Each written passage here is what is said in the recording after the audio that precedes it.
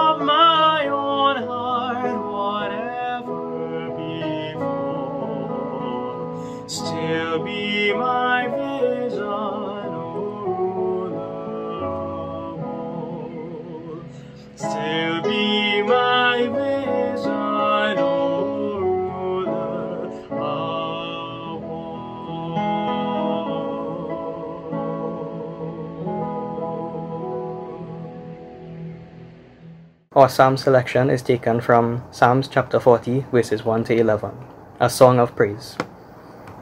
I waited patiently for the Lord's help. Then he listened to me and heard my cry. He pulled me out of a dangerous pit, out of the deadly quicksand. He sat me safely on a rock and made me secure. He taught me to sing a new song, a song of praise to our God. Many who will see this will take warning and will put their trust in the Lord. Happy are those who trust in the Lord, who do not turn to idols or join those who worship false gods. You have done many things for us, O Lord our God. There is no one like you. You have ma- made many wonderful plans for us. I can never speak of them all. Their number is so great. You do not want sacrifices and offerings. You do not ask for animals burnt whole on an altar, or for sacrifices to take away sins. Instead, you have given me ears to hear you, and so I answered, Here I am. Your instructions for me are in the book of the law. How I love to do your will, my God. I keep, teach- I keep your teaching in my heart. In the assembly of all your people, Lord, I told the good news that you saved us. You know I will never stop telling it. I have not kept the news of salvation to myself. I have always spoke, spoken of your faithfulness and help in the assembly of all your people. I have not been silent about your loyalty and constant love. Lord, I know you will never stop being merciful to me. Your love and loyalty will always keep me safe. Glory be to the Father, and to the Son, and to the Holy Spirit, as it was in the beginning, now and ever shall be, world without end. Amen. God is gracious and merciful, and we know that we have sinned against him. Yet we come before him in a time of confession, bringing before him all that rest uneasily upon our hearts. Let us come to God in prayer. Holy God, confession is good soul. As we come before you, as children and young adults, we want to be honest. This is really hard. It is really hard to wear masks, to avoid public gatherings, to spend so much time watching screens. We're losing patience, and we're losing hope, and we're losing grip on faith. But we are thankful that we can lean on you as our Heavenly Father. When things get hard and when we get depressed, we ask you, O Lord, to remind us that there is hope at the end of the tunnel. Lord, we ask of you to encourage our hearts and help us to be your people in these strange days. We know we would have sinned against you, Lord, but we come with grateful hearts, seeking your forgiveness, and we thank you for your grace and mercy. In Jesus' name we pray. Amen. Regional Youths in Ministry feel very blessed and honored to be given the opportunity to plan and execute a service such as the Faith and Confidence. We wish to thank all those for accepting our invitation to share in this service. We also thank the congregations for their encouragement and support as we build a foundation for the youths of our region. We wish to extend blessings and guidance to our youngsters and our youths on their exams. We extend Happy Father's Day greetings to all the fathers of our region. May you continue to be good exemplars for, uh, for your children and for the youths of our region. Song of Inspiration, Words of Encouragement brought to us by young Kadir Mohammed and the Sunday schools of the region.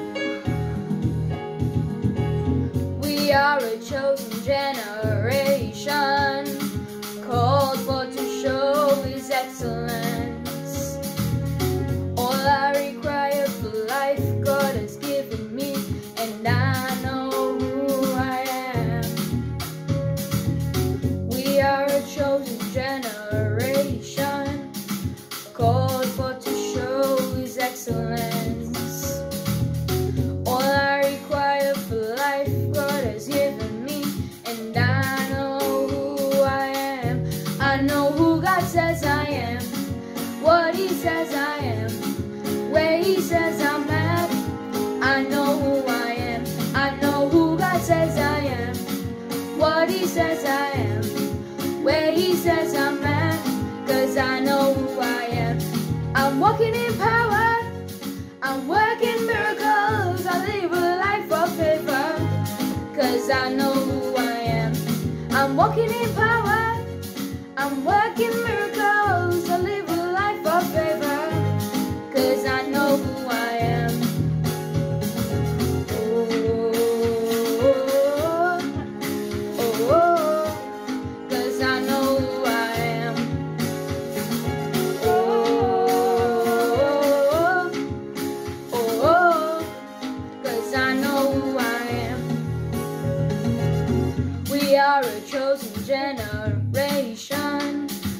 Called for to show His excellence. All I require for life, God has given me, cause I know who I am.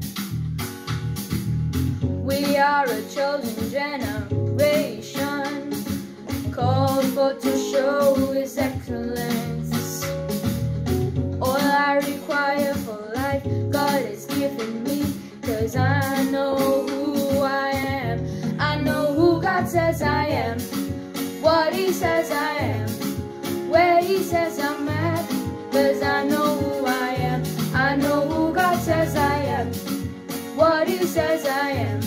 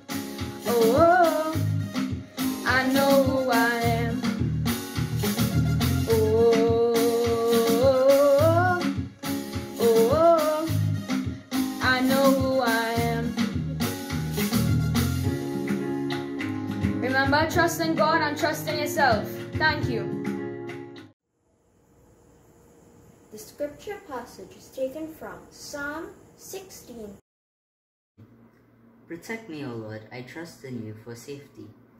I say to the Lord, You are my Lord. All the good things I have come from you. How excellent are the Lord's faithful people. My greatest pleasure is to be with them. Those who rush to other gods bring many troubles on themselves.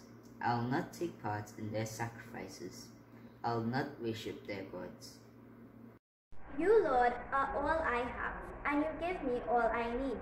My future is in your hands. How wonderful are your gifts to me! How good they are! I praise the Lord because he guides me, and in the night my conscience warns me. I am always aware of the Lord's presence. He is near, and nothing can shake me. And so, I am thankful and glad, and I feel completely secure, because you protect me from the power of the death. I have served you faithfully, and you will not abandon me to the world of the dead. You will show me the path that leads to life. Your presence fills me with joy and brings me pleasure forever. Here ends the reading of the psalm. Hi, my name is Ziara Allen. I'm from Standard 3 Vistabella Presbyterian School, and today I'll be singing a poem for the exam students. I may be young, but I have to say, have faith and confidence on your way to sit and write your SEA, CXC, or CAPE on that day. Your exam day is almost here. The countdown has begun. I know you might be nervous, but relax. You did what must be done. You've studied hard for many years. Be proud of where you are. Take a moment to appreciate the fact you've come this far. Thank the Lord as He go- goes before you. It is He who will give you the strength to accomplish what you have to do. Yes, you can, and you will. So do the best that you can do, because I have to follow you in a year or two. Good luck, everyone. Let us bow before God and pray. Holy God, we come before you in this pandemic, trusting and keeping our faith and eyes on you, our ever loving God. We know without your presence in our daily lives, we are nothing. You wake us up to new life every day, and we are thankful. Lord, pour out blessings of assurance on us, so that when we read your word, it will be like a light unto our path. Loving God, we bring before you the members of our region at this time. Those fortunate to have all that they do and extend their right hand with love and care to our unfortunate brothers and sisters. We ask you to bless them that their food baskets will be overflowing. We ask your blessings upon leaders, elders, chairmen, and women who sort out the needs of our people in these unprecedented times. Lord, we ask that a double portion of blessings be bestowed upon our minister, Reverend Jacob. Bless her with good health and strength and safety as she enjoys her holidays with her family. We lift up those who need to be comforted because they have lost loved ones due to COVID 19. We ask, O Lord, that you take control of this pandemic so that the fellowship of church can be restored physically and that we will be able to meet and greet one another in your house of worship. Persons will be able to go back out to work and be lifted from the stress, misery that is caused. Lord, we thank you that we can come to you, our sustainer, enlightener, provider, protector, and great physician. May you continue to bless us as we repeat the prayer you taught us all to say together Our Father, who art in heaven, hallowed be thy name. Thy kingdom come, thy will be done on earth as it is in heaven. Give us this day our daily bread, and forgive us our trespasses, as we forgive those who trespass against us. And lead us not into temptation, but deliver us from evil. For thine is the kingdom, the power, and the glory, forever and ever. Amen. The scripture reading is taken from Isaiah chapter 40, verses 28 to 31. Don't you know? Haven't you heard? The Lord is everlasting God. He created all the world. He never grows tired or weary. No one understands his thoughts. He strengthens those who are weak and tired, even those who are young and grow weak. Young people can fall exhausted, but those who trust in the Lord for help will find their strength renewed. They will rise on wings like eagles. They will run and not get weary. They will walk and not grow weak. This is the word of the Lord. Thanks be to God for his words. Amen. The scripture reading is taken from the book of Jeremiah, chapter 29, verses 10 to 30, entitled Jeremiah's Letter to the Jews in Babylonia. The Lord says, When Babylonia's 70 years are over, I will show my concern for you and, and keep my promise to bring you back home. I alone know the plans I have for you, plans to bring you prosperity and not disaster, plans to bring about the future you hope for. Then you will call to me, you will come and pray to me, and I will answer you. You will seek me, and you will find me, because you will seek me with all your heart. This is the word of the Lord. Thanks be to God for his words. Amen.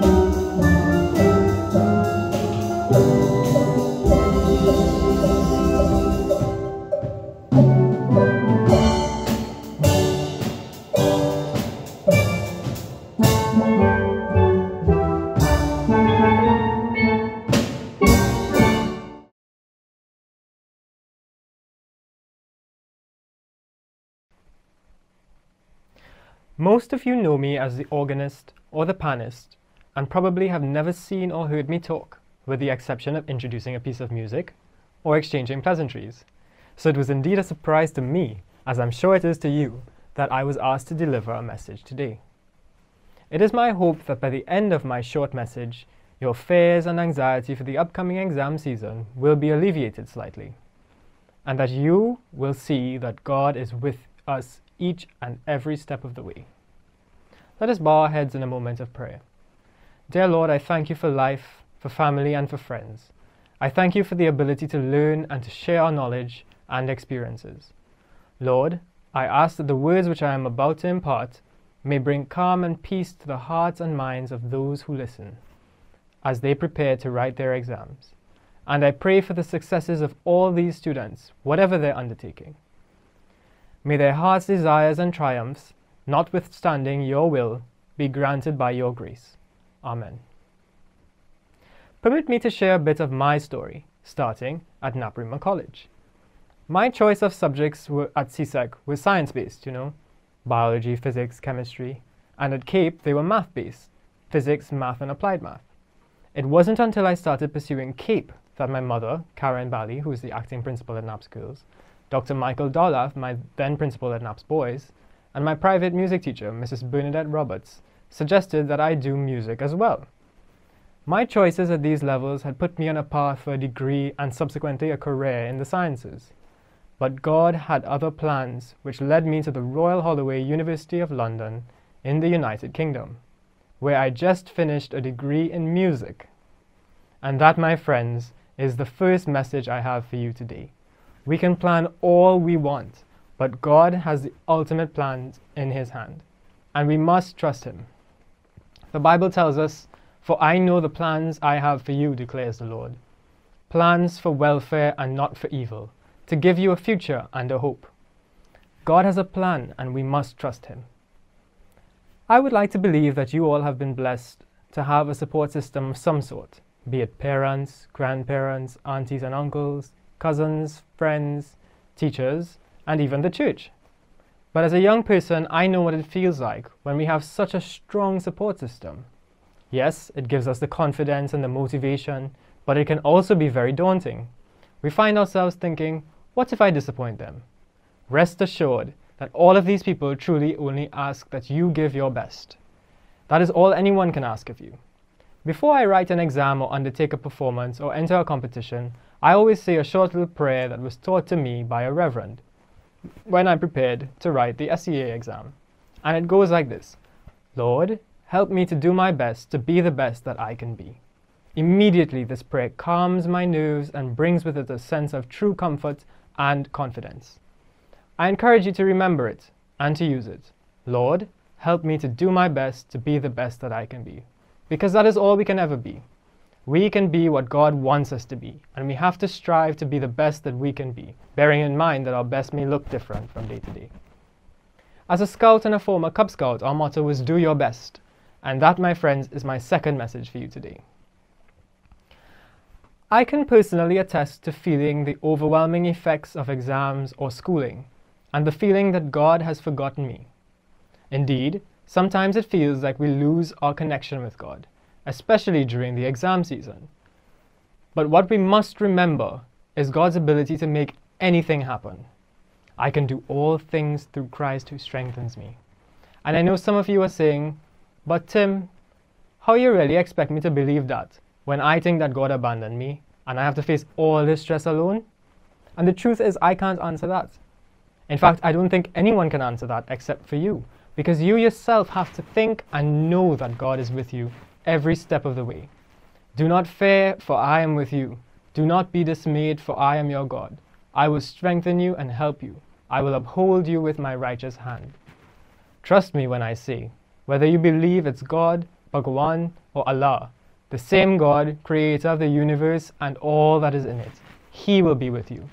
Just make the choice to believe in Him and to trust Him and turn to Him when it feels like hope is lost. And that, my friends, is my third message. I know that it hasn't been an easy year at all with COVID and all that. But before I close, I would like to leave with you a few words of wisdom from throughout the ages. Nothing is impossible The word itself says, I'm possible. Everybody is a genius, but if you judge a fish by its ability to climb a tree, it will spend its whole life believing that it is stupid. And you aren't stupid. These tests and exams are designed to test recall, and they don't always test other aspects of life that you may excel in. And so I say to you, give your all and try your best, and God will deliver His plan for you. Never do tomorrow what you can do today. Procrastination is the thief of time. We are all guilty of this, even me, but sometimes you just have to slap yourself out of it and say, hey, get up and get started now. Success consists of going from failure to failure without the loss of enthusiasm. Failure is a part of life. We just accept it. Trust that it is God's plan and just get on with it. Don't say you don't have enough time. You have exactly the same amount of hours per day that were given to Michelangelo, Mother Teresa, Leonardo da Vinci, and Albert Einstein. And it was Timothy Bally who said to you today trust in God's plan. Do your best and turn to God when it feels like the world is crashing around you. In closing, I want to leave with you a verse of a beautiful old hymn that we will sing shortly. And it goes, No matter what may be the test, God will take care of you. Lean weary one upon his breast, God will take care of you. Thank you for the opportunity to speak to you, and I wish you all the best and all the successes that are meant to come your way. If you feel overwhelmed or just need to reach out to someone, my social media and contact information are listed here. Please, please do not hesitate to reach out. Thank you, good luck, and may God bless you all.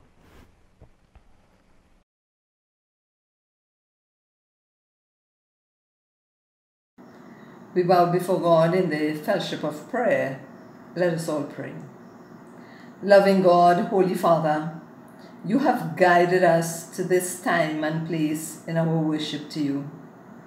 Father, we open our hearts, minds, and lives as we are led into your wisdom, understanding, and patience, so as to endure the challenge which is placed before us as we set out to write our upcoming examinations. Father, your word gives us the assurance that we need to persevere at this time. Yet we acknowledge that it is not by our might or power, but by your Spirit, Holy God. We confess that we can accomplish very little on our own, but through faith and trust in Christ Jesus, our Lord and our Savior, we are victors and more than conquerors to your honor and glory. Father in heaven, you have given us this opportunity to move forward in our academic journey. You have used many persons, our parents, teachers, siblings, our peers, and many others, to share their knowledge and experience with us.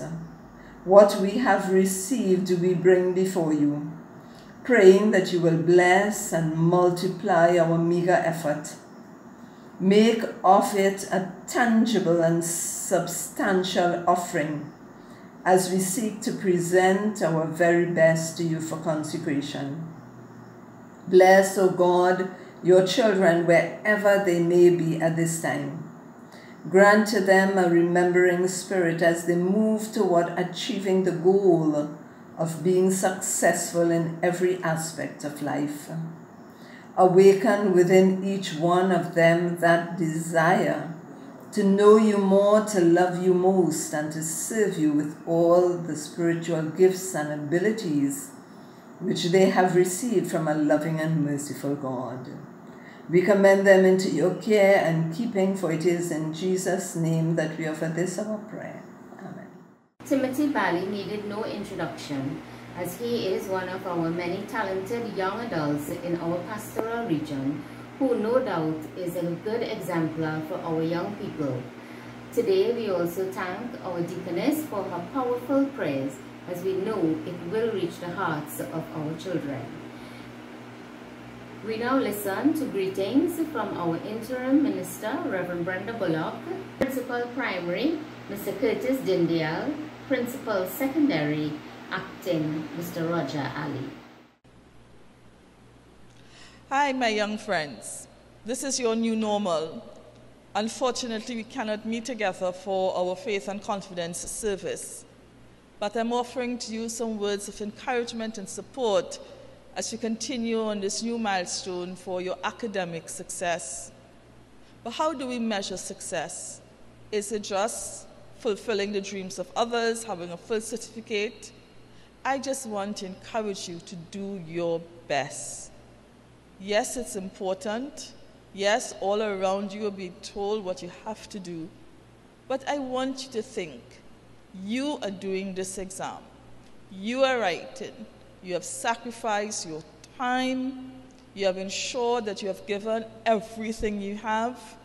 And so you will be successful, and success is not measured in the same way for everyone. Your minister is on vacation, otherwise, she would have been very happy to be part of the service. And I know your deaconess, Deaconess Calpurnia Chance, has done so much with you. As you have this service, pray that God's blessings will be with you, that you have the support and encouragement of your Sunday school teachers, your youth group coordinators, your friends. You're all working together to accomplish your dreams, your goals. Remember who you are today will not be who you are tomorrow. And sometimes dreams and aspirations change along the way. Do not be afraid to change if you feel that you are called to do something different. The church will always support and encourage you. The church will always be there, just as your teachers. I'm sure they are going to be very proud once you do your best. I pray that as you continue, and especially as you write your exams, be calm, be steady, say your prayers, and remember you are not alone. God is always with you. Best of wishes as we continue to pray, support, and encourage you on your journey. Thank you.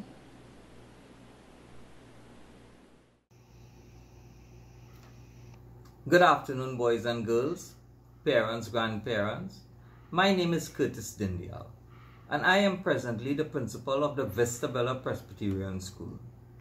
I would like to share some words of encouragement as our primary school kids will soon be writing SEA examination. Isaiah 40 states that those who hope in the Lord will renew their strength. They will soar like eagles. You have already made history as being the only Standard 5s to have online classes prior to writing SE. You must keep hope in the Lord and He will renew your strength and wisdom so that you will, you will excel at your exam. Your teachers have prepared you. Your parents have supported you. And you have committed yourself to your work. Now it is time to put your trust in the Lord. And you will do your best. You were preparing for this exam since you entered first year. The work done throughout primary school prepares you for writing this exam. So it's the day before the exam. What do you do? Relax. Spend time with your family. Watch a movie. Eat your favorite meal. Play a board game. Pray with your family for peace in your heart and mind to keep you calm. At this stage, we need to stay calm and keep our faith high. The Lord will be our guide as He bless us continually throughout this pandemic. You were guided to wear your PE uniform if you cannot fit into your school uniform. So lay out your clothes and mask the day before and set your SEA pencil case aside. Don't forget to get mom and dad to set two alarms for the day of the exam. Reach early to school.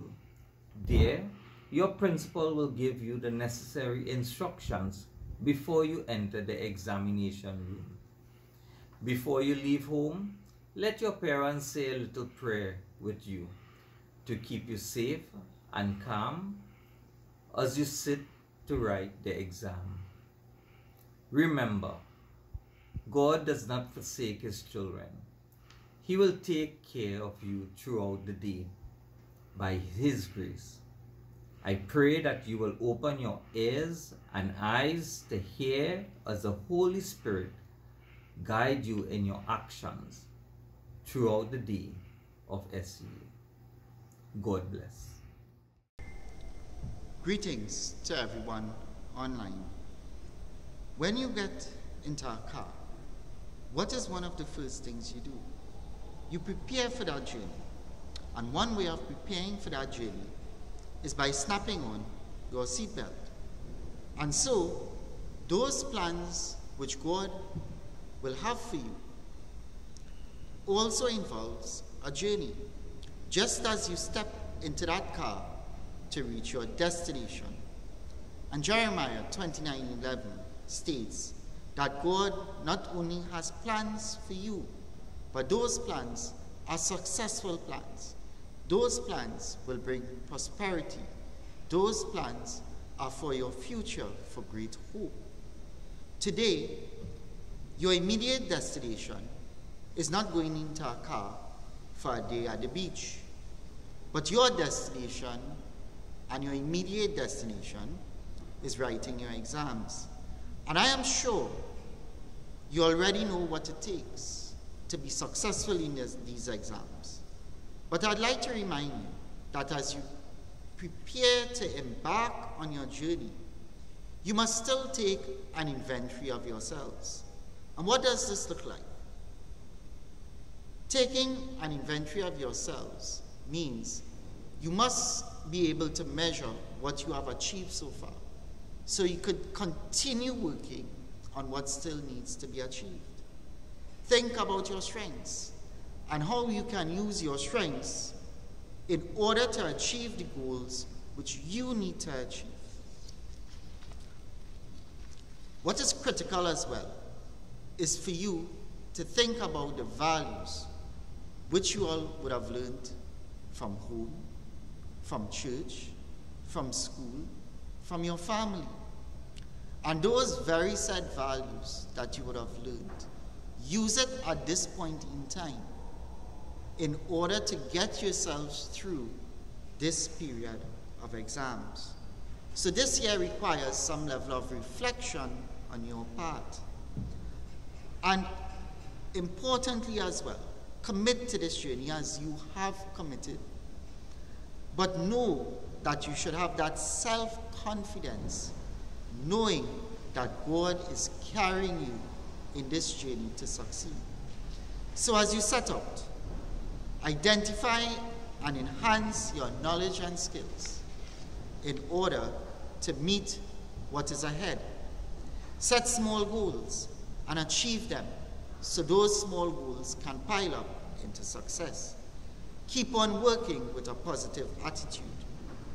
Keep on praying. Keep on praying to God. And know that God is there for you. So, as you prepare yourselves for these exams, you must take care of your mental and physical health. The Bible says, Be still and know that I am God. And so, remove all internal and external distractions and place it in God's hands. Let me repeat that again. The Bible says, Be still and know that I am God. And so, place it in God's hands to remove all internal and external distractions. Remember to get some physical activity at home. Reflect on how you can use your free time and unplug from the screen and take care of yourselves. Every night before going to bed, set your alarms, knowing with the confidence of God you will wake up next morning, continuing, continue studying and learning, and have the courage to continue to pursue your own personal development and education, remembering always to be socially responsible citizens. As I close, I challenge you to act on the objectives that you have set for yourself. Because planning without action is futile and just a dream. Let me repeat that. I challenge you to act on the objectives you have set for yourselves. Because planning without action is futile and just a dream. And so, go with the faith and confidence that God is with you in your journey to reach your destination. Thank you.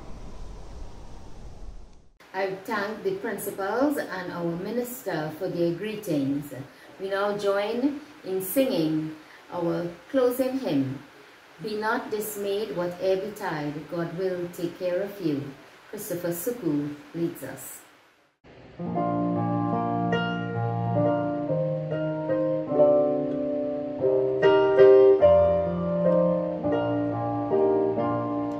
Be not dismayed,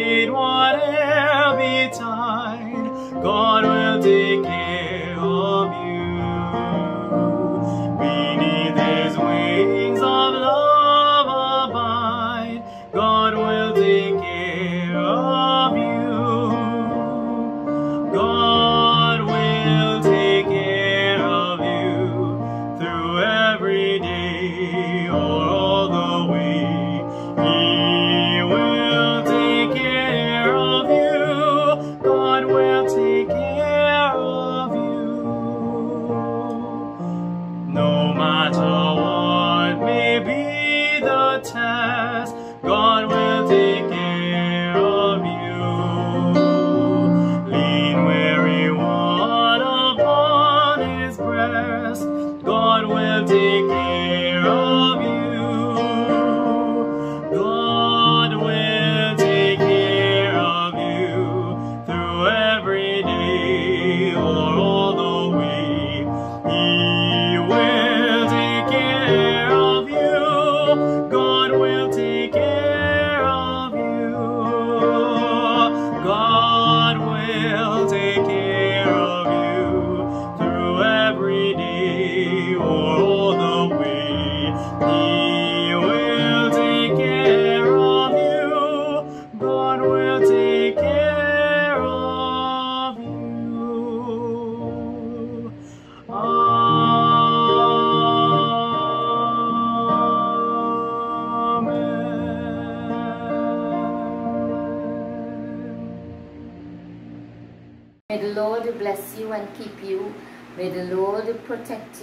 guide you.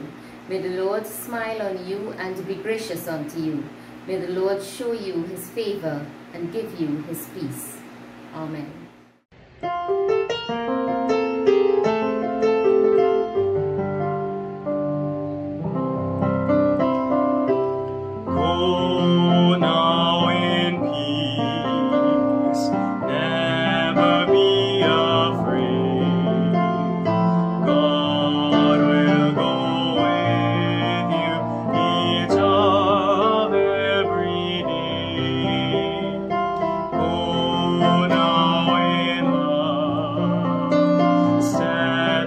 Strong,